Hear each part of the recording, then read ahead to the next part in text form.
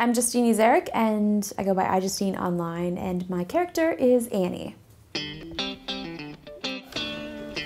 She's a blogger, she's a host at Huffington Post. a gross to the. And she's the one that gets the encrypted file that is the actual video that they've been talking about in season one. The video. Ma'am, what about the video? The video has been destroyed. But now it's not actually been destroyed, and now it is in my hands, Annie's hands.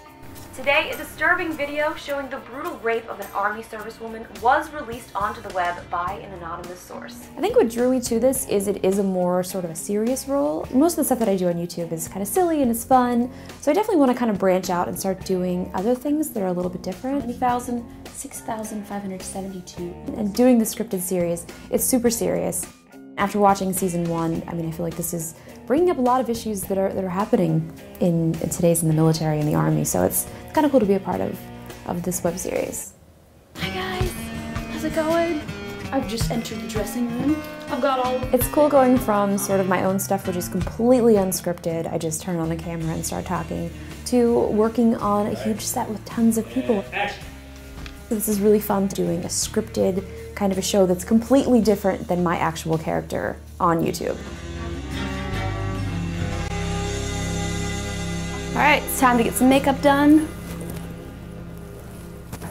That's my hair tossing in the wind. It's great.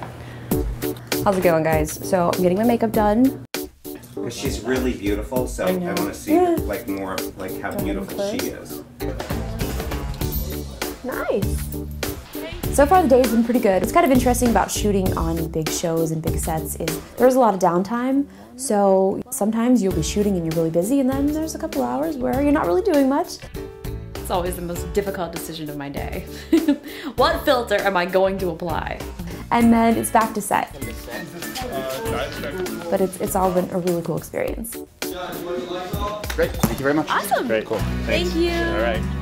It's definitely exciting to be a part of a series and a channel that's empowering women. Most of my audience are young girls, so even for me, most of my content, I'm always trying to be uplifting and you know, I want girls to know, you know, if you want to do something, there's no reason that you can't do it. Do I know what my name means?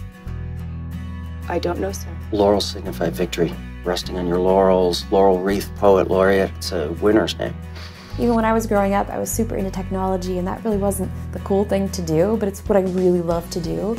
And I've just stayed true to who I am and what I enjoy, and that's something that I hope comes across in my videos, and it's great to be a part of a series that, that does the same thing.